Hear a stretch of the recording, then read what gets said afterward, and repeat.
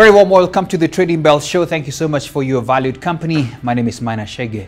Tonight we look at two sectors, the banking sector and the manufacturing sector, speaking about what is lying in the future. We start with the state of the manufacturing sector from a commentary from the head of research policy and advocacy at the Kenya Association of Manufacturers, that is Job Wanjohi. Many thanks for joining us, Job. So, Job, what is the status of the manufacturing sector and how are you as a sector reacting to this new news that we are seeing of the new introduction of the excise you know, duty? So, from where you sit in, please paint for us a picture of what's happening. Uh, thank you so much. Uh, uh, as far as the excise duty is concerned, it's being introduced or the excise regime is being enhanced at the moment. Uh, there are various handles. Uh, for instance, from the manufacturing perspective, uh, we have uh, uh, been grappling with various issues that are COVID related. For instance, as far as our input our inputs are concerned, we have seen uh, the increment on the cost of the raw materials by about 107 percent. Uh, talk of the freight cost, uh, how we bring our goods from Asia uh, to from Europe uh, to country when talking about importation of machineries, importation of the raw materials and intermediate products. We have seen an increment by 232% in the last one and a half years. Uh, the exchange rate has uh, deteriorated against importation of raw materials. Uh, but uh, I would say it has been okay for uh, for exportation. But now we are a net importer uh, uh, of of anything in this in this country.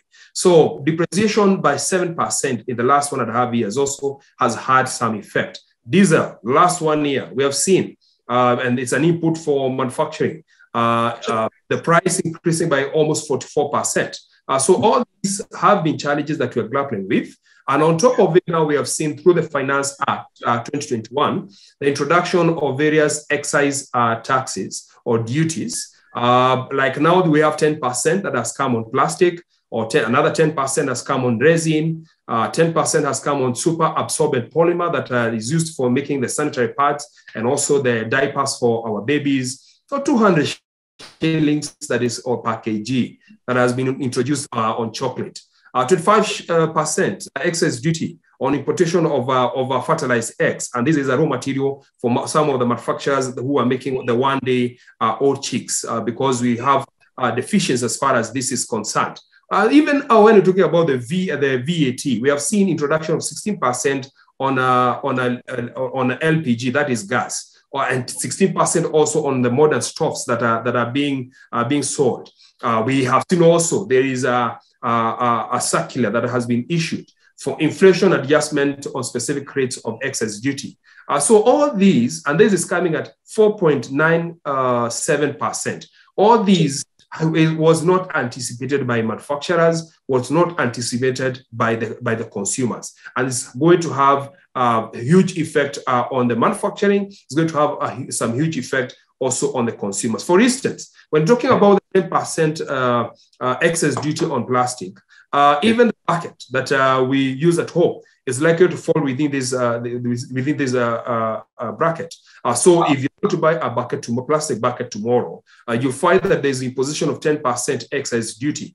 For those who are doing painting of vehicles, they are painting homes or they're making diapers, or they're users of diapers, baby diapers, and sanitary pads. Uh, the 10% yeah. excise duty on dressing, uh, this is going again to affect them, though we have had a discussion on how uh, the super absorbent polymer that is used for making these diapers is going to be exempted through a code. Uh, so it, it, it's a dire situation, and we're looking at how some of these excise duties can be reversed uh, through amendment bill uh, yeah, as, as soon as possible. Because even you have seen some cases whereby some manufacturers or consumers have gone to court uh, seeking injunction over some of these excise duty that are that are punitive. Okay. I know that that's a very valid, I mean, or a very nice way of painting at the picture. So my quick and final question and comment from you is, of course, you've mentioned some specific products that are definitely bound to see an increment in terms of costs. That means definitely affecting the cost of living. So, what's the way forward if it goes by and if it passes? I know you're still trying to push hard, but maybe I don't know whether it's too late. By the way, is it too late? Uh, so, what, what, what are we expecting now? Uh, two two options or three options. One is yeah. Uh, uh, to seek amendment of the Finance Act 2021. Uh. Fortunately, this can only happen after six months. Uh, uh, that's that's one way that we're looking at how this can be reversed. the second is we have the budget proposal going on for the yeah. for the budget proposals for year 2022 2023. this is supposed to be submitted by end of uh, August 2021. That's another okay. way that we are trying to use and see whether uh, uh, it can be amended through the Finance uh, Bill 2022. But again, we cannot wait, wait until 2022 for the reversal of this because already is going to be punitive on manufacturers and also on consumers because on manufacturers, because there's a consumption tax, is going to hurt them as far as the market expansion is concerned. For consumers, is a question of weakening our purchasing power. Uh, and then the third one is uh, where we cannot get some window. Uh, manufacturers and even some consumer bodies are willing uh, to head to the court of law to seek injunction over, over, over implementation of uh, some of these excise duty. So I would ask uh, the government uh, to listen to the manufacturers and also the consumers and look at how some of this can be changed in a more diplomatic manner. Absolutely. Many thanks for your time, Job, and we really wish you well, especially from us, the consumers, who are going to be hit hard by these effects. Thank you so much, Maina. And right now, I am joined by the head of research, Genghis Capital, and of course, research analyst as well, Ndanu Kataguta from Genghis Capital as well. We're going to help us understand a few interesting things. First of all, let me just get a comment from the head of research. I don't know, Churchill, from what you have heard from Job Wanjohi, what's your comment on uh, the state of the manufacturing sector in line, especially with what we've seen in the introduction of the excise duty. Uh, thanks, Maina Chege, for having me on the show. Yeah.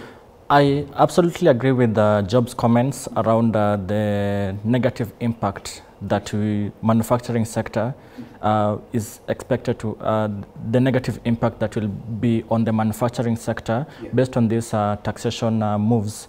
Uh, look at uh, the manufacturing sector as a whole. Yeah. This is one of the big four agendas item whereby the goal was to increase the share of manufacturing from 7.5% where it was yeah.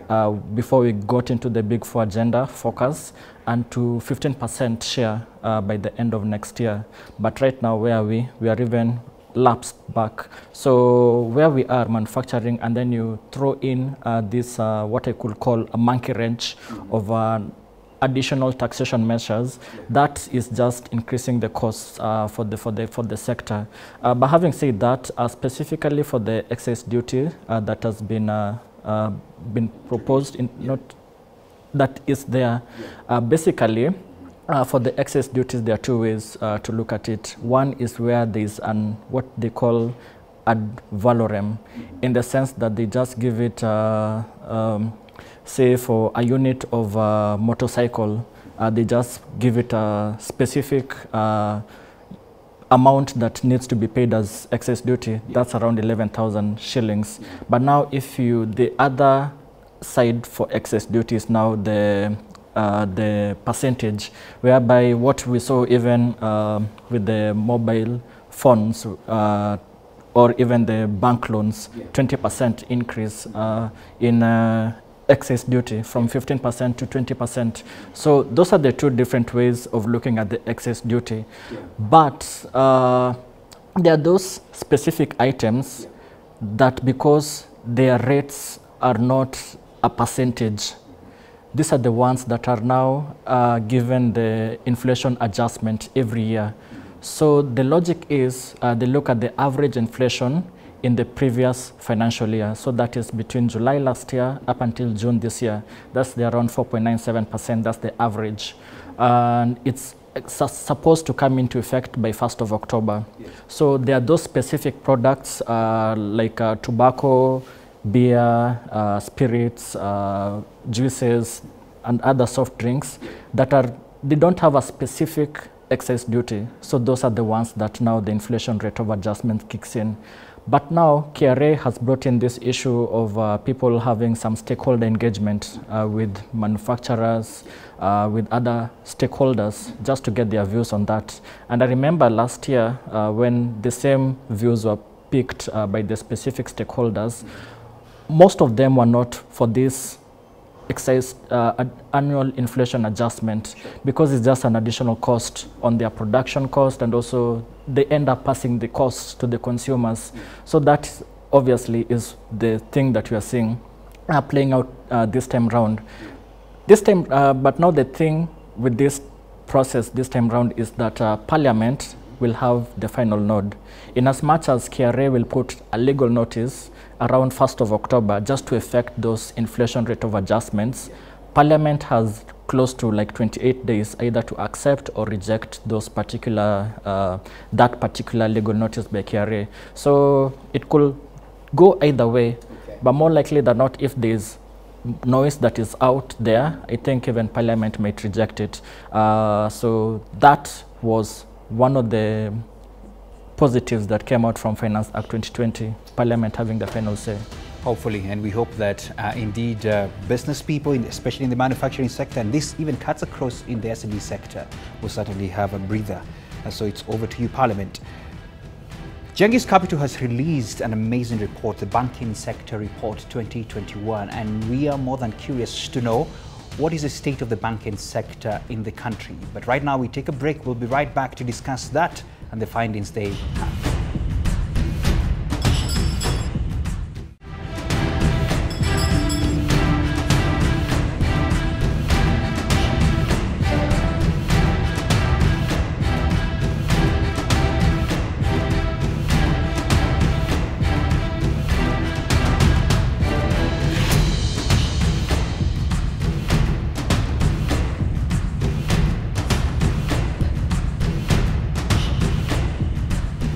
Welcome back to the Trading Bell Show. Thank you so much for your valued company. As I said earlier, we have the Banking Sector Report 2021 courtesy of Genghis Capital. And Danu Gatuguta was a team lead when it comes to that research, and she's here to help us understand. And as well, we'll look at the markets analysis uh, for the day.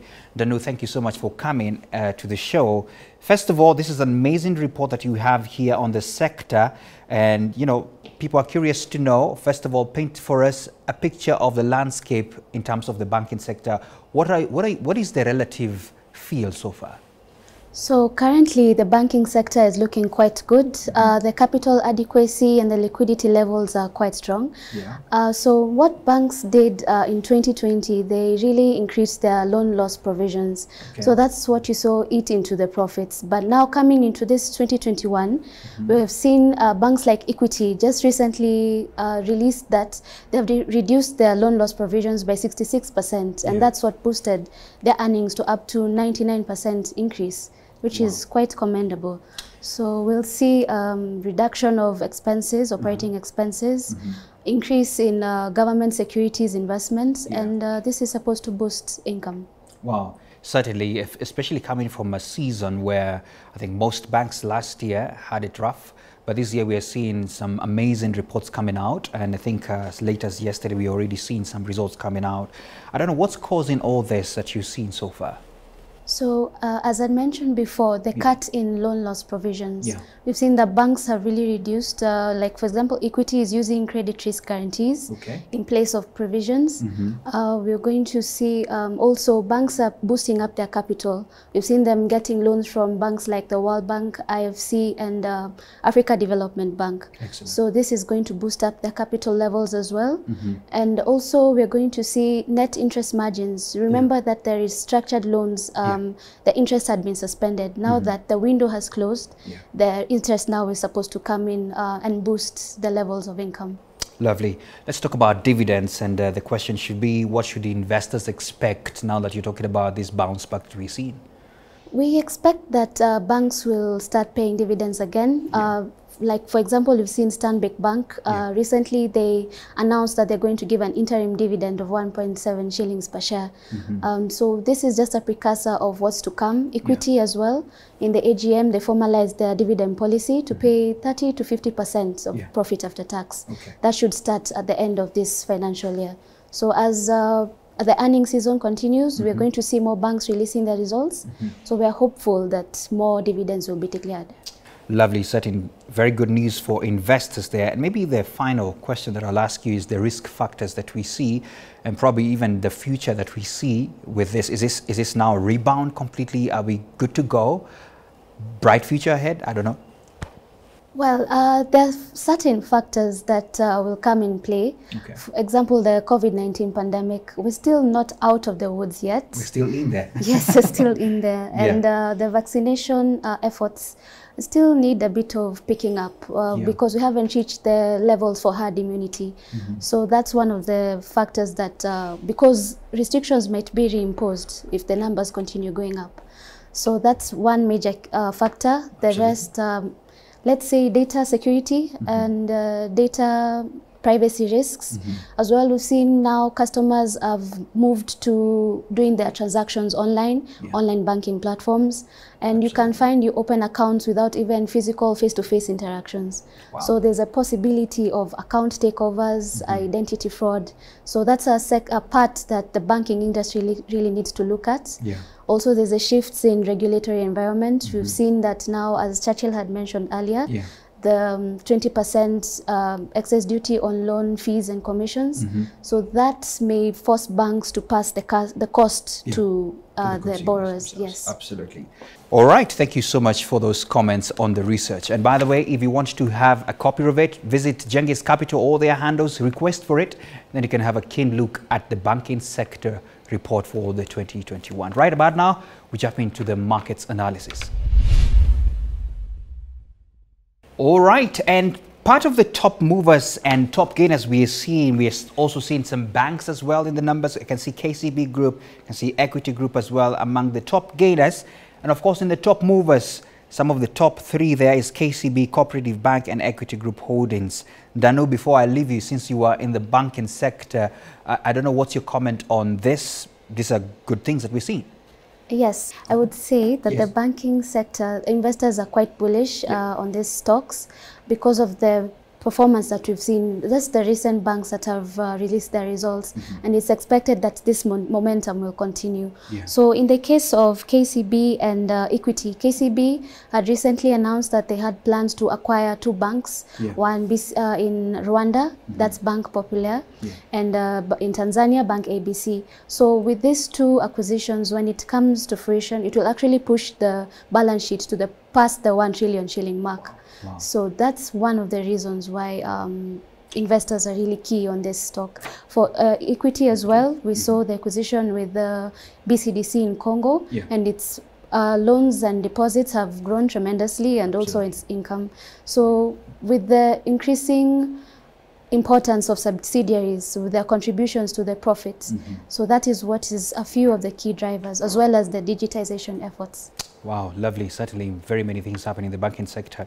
Churchill, it's not that I am trying to throw you to the losing end, but I see some top losers here. We have Nairobi Business Ventures, Standard Group, Express Kenya, Chumi Unga. But I'd like you to comment on one of it. Maybe the Nairobi Business Ventures is one of the top losers. What's happening? Uh, yes, we've seen some uh, jittery, uh, or rather some price gyration in that particular counter. Uh, it's one of the meme stocks. I remember in the US, there's this uh, GameStop uh, stock uh, which went all the way over the roof. So locally, we have NBV. At some point, it had a return of uh, 1,000% from the lows that it was uh, before it was suspended uh, for trading. So a couple of things have come out uh, in regards to Nairobi Business Ventures. Uh, they announced uh, some acquisitions, and uh, these acquisitions obviously will come at a cost. I think the figure that was put was 3 billion shillings. And then uh, over and above the acquisitions, uh, there's a plan that is supposed to be developed, 15 billion shillings. So I think the market is still digesting uh, the viability or uh, the whole strategy. Uh, remember that Nairobi Business Ventures is started as a shoe retailer counter. Yeah. Now it's pivoting to more or less like a conglomerate, be it in transport logistics, uh, some cement factory, and also some uh, aviation companies. So the whole strategy is still uh, still not yet been uh, digested by the market, and uh, that's what is reflected by the by the by the price. And lastly, also uh, NBV was supposed to release its financials as at the end of July. It's been extended by end of this month, uh, so probably uh, when the financials are released is when you can see some glimmer into the where the company is going post the announcement of these acquisitions. Now, Churchill, uh, the NSE yesterday released a press release where it talked about the NSE market cap topping 2.9 trillion, certainly very good, and the all share index is up by 3.84%. I don't know what you comment on that. Yes, and what comes to mind is the Nairobi All Share Index. That is a market cap weighted index, yes. uh, meaning that uh, the, the biggest weighting to that index yeah. are those counters that have the biggest market cap. And what are we talking about? We're talking about Safari. We are talking about Safaricom, yeah. which is above 65% yeah. uh, share of the NSE uh, all share index. And then we have banks, another 20%. Mm -hmm. uh, so based on that, and if there's any price movement in, say, Safaricom, you've seen Safari, Safaricom yesterday yeah. hitting an all-time high of uh, 42 shillings and 90 cents, Absolutely. and uh, other banks, uh, be it KCB uh, and Equity, which are now following uh, Safaricom in terms of market capitalization, hitting uh, 12 months highs in their prices. So obviously that will have a positive knock on the index. As they say, a rising tide lifts all the boats. But here the tide is Safaricom, KCB, Equity now lifting the whole index. So that's basically what it boils down to. Thank you so much, Churchill, for that. Right about now, it's Markets 101. And on Markets 101, we want to look at the latest news that we have that now you can buy shares using your Bonga points. Churchill, please expand for us a bit of this. Uh, basically, this uh, deal that was announced by Safaricom and NSE it allows uh, Safaricom customers uh, who have registered uh, through the Bonga Points loyalty program, uh, they can now be able to redeem uh, their Bonga Points uh, into NSE. Currently, the options of redeeming is either through making purchase of Safaricom products or even on Safaricom products like redeeming it in a retail outlet. but a number of things come out in this whole bonga points. One is uh, looking at uh, the the bonga points that are outstanding as per the statement that was given by, Safari, by Safaricom. Uh, it was announced it's 16 billion, out, 16 billion bonga points that are outstanding there. And then the conversion ratio is for every five bonga points you have is converted to one shilling. So 16 billion, 16 billion bonga points yeah comes to 3.2 billion shillings. And you just spoke about the market capitalization yeah. as at yesterday, that was 2.9 trillion shilling. So the value that we are looking to be unlocked mm -hmm. is around 0.1, at most 0.2 percent mm -hmm. of the market cap as at yesterday. So that's a, a, a drop in the ocean. Yes. That's one. And then remember that these bonga points are earned by retail customers, you and me, and also corporate customers. So if you do the math, more likely than not, we'll see the people who are being targeted here are retail customers who are now watching us. Uh, now that they can be able to redeem their bonga points. So uh, that's basically the crux of all uh, what you're talking about. But you certainly agree this is a game changer and it has made it easy for people to think about shares, right? It could be, it, it, it is an opportunity, but ideally it's an opportunity of, uh, because this is money that is not, you, you, you do not earn, yeah. but how do you make good use of it? So that's where the opportunity lies. All right, thanks a lot. That's the comment on the new Markets 101. I hope you have gotten something out of it. And, you know, never say you never know. Keep tuning in on the Trading Bell show for more of this and for yourselves to keep uh, tabs with what's happening in all matters markets. My name is Maina Chege. Thanks so much for your time. See you next time, same place, same time. Bye bye.